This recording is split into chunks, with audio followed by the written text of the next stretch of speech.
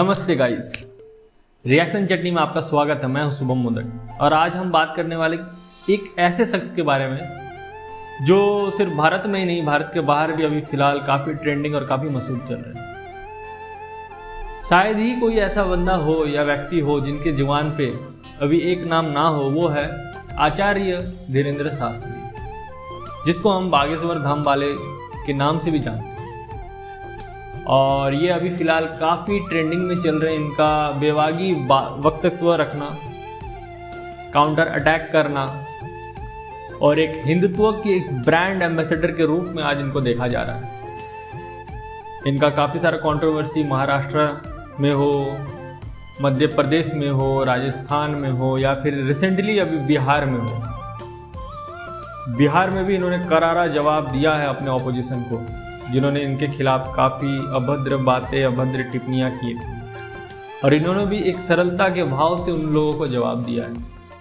तो ये टॉपिक के बारे में आज हम लोग डिस्कस करने वाले हैं। क्या धीरेन्द्र शास्त्री वाकई ही एक साधु संत है या फिर ये है एक भूमि तो आज इस वीडियो में हम इसके बारे में बात करने वाले हैं। तो आइए वीडियो को, वक्त को बर्बाद ना किए हुए इस वीडियो पे हम लोग आगे चलते हैं। तो धीरेन्द्र शास्त्री को अगर देखा जाए तो दिन प्रतिदिन इनका जो फॉलोअर्स है ये काफ़ी एक हाई स्पीड में बढ़ रहा है।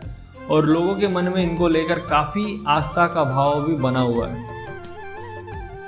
अगर मैं पर्सनली कहूँ तो मेरे दिल में भी उनके लिए एक आस्था भाव उत्पन्न हो चुका है। मैं भी उनके ऊपर आकर्षित हूँ कि उन, उनका जो व्यक्तित्व है उनके बोलने का जो तरीका है। और हिंदुत्व के बारे में जो वो आ, जो स्प्रेड कर रहे हैं बातों को लोगों के मन में, उनके मन में उनका जो एक घर बन रहा है, ये काफ़ी बड़ा एक प्रश्न चिन्ह उठता है उन लोगों के ऊपर, जिन्होंने आज तक हिंदुत्व पे टारगेट पे टारगेट किया है।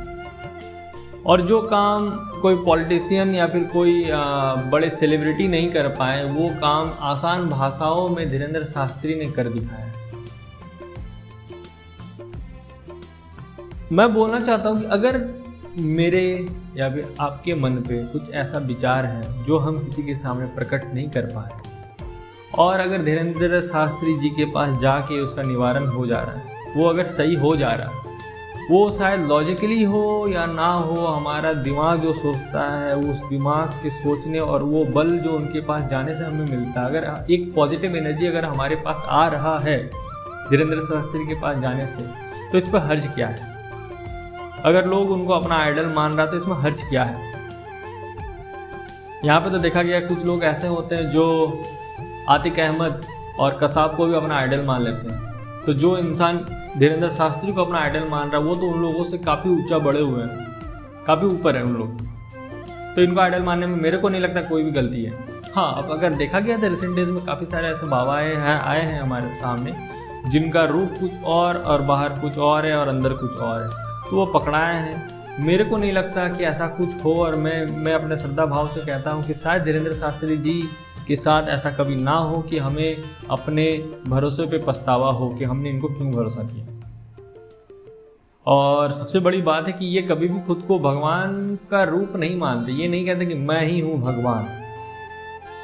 वो कहते कि मेरे पास भगवान की एक शक्तियाँ हैं, उनका कृपा मेरे पास है, जो कृपा मेरे पास है, इसलिए मैं आप लोगों का भला कर पा रहा हूँ या फिर आप लोगों को ठीक कर पा रहा हूँ। तो अभी वो कभी भी खुद को भगवान नहीं कहते हैं। भगवान का दावा वो अपने पे नहीं रखते हैं। जो मेरे को काफ़ी पॉजिटिव वाइब्स देता है उनके बातों पे।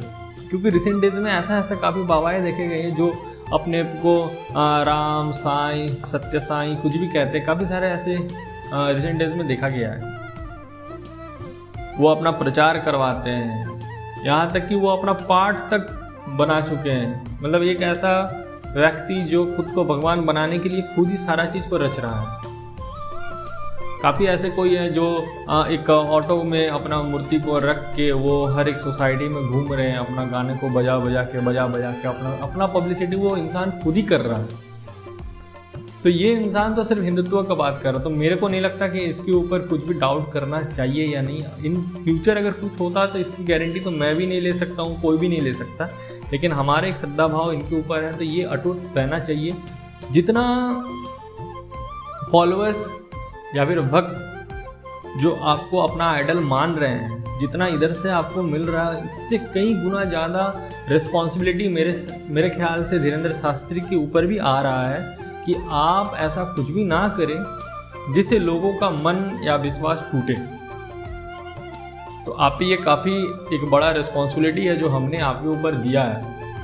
ये रिस्पॉन्सिबिलिटी हमने आपको दिया है, इतना प्यार आपको हमने दिया है। तभी बिहार गवर्नमेंट का इतना अगेंस्ट जाकर भी सारे पब्लिक ने मिलकर बिहार में उनका जो सत्संग था, उसको एक ग्रैंड लेवल पे बनाया है।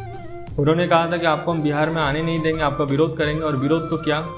इन्होंने एक ऐसा चमत्कार करके दिखाया वहाँ पे कि लाखों की संख्या में भीड़ हो गई। लास्ट में समय से पहले धीरेन्द्र शास्त्री जी को ये कहना पड़ा कि आप लोग घर से देखें, मेरे यहाँ पे ना आए, क्योंकि हम अब आपके लिए जगह यहाँ पे नहीं है। तो ये एक काफ़ी बड़ा तमाचा है जो धीरेन्द्र शास्त्री के विरोध में जाके उनके बारे में अब सब कह रहे थे पब्लिक ने दिखा दिया कि वो किसके साथ है। तो अगर पब्लिक ने आपका साथ दिया तो आपको भी धीरेन्द्र शास्त्री जी, आपको भी पब्लिक का साथ देना पड़ेगा।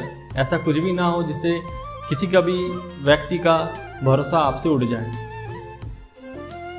ऐसा काफ़ी कोई है जो उंगली उठा सकता है या फिर बोल सकता है कि रिसेंट डेज़ में काफ़ी ऐसा कुछ हुआ निर्मल बाबा है, जो पर्स खोल के बैठो, कृपा आ रही है। अब कृपा तो हम हम भी पर्स खोल के बैठ जाते थे टीवी के सामने, लेकिन कृपा अभी तक आई नहीं है मेरे पास। कृपया जबकि नहीं आई, इसलिए हम अभी भी तलाश कर रहे हैं। कि जो मेहनत हम कर रहे हैं, उसका फल हमें मिले। आप चैनल को सब्सक्राइब करें। तो इसके लिए हम मेहनत किए जा रहे हैं। उम्मीद करता हूँ कि कभी ना कभी ये चैनल भी मेरा बड़ा होगा। आप लोगों के बीच हम पहुँच पाएँगे और भी काफ़ी अच्छा अच्छा कंटेंट हम बना पाएँगे। लेकिन जो बात यह है कि अगर किसी इंसान का मन में उनके पास जाने से श्रद्धा, भाव या पॉजिटिव एनर्जी आ रही तो मेरे को नहीं लगता कि कोई भी हर्ज हमें उनका सपोर्ट करना चाहिए।